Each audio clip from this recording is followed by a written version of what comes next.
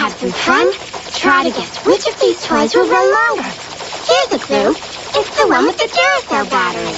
That's because when you leave it running, the Duracell battery will last up to six times longer.